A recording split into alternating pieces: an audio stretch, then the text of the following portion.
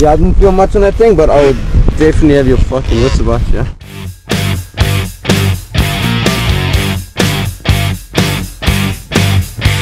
My hair's a mat and I don't shave. My wife just left today.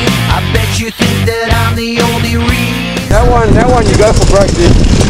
Yeah, okay. Like the, my second jump, I was just like, mm,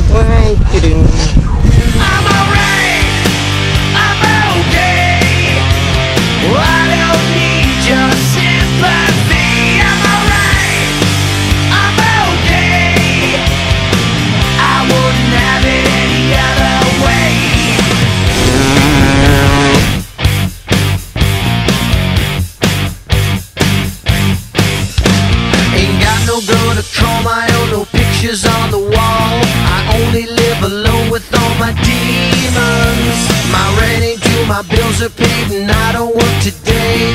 Just then I awoke and I was dreaming. I'm alright.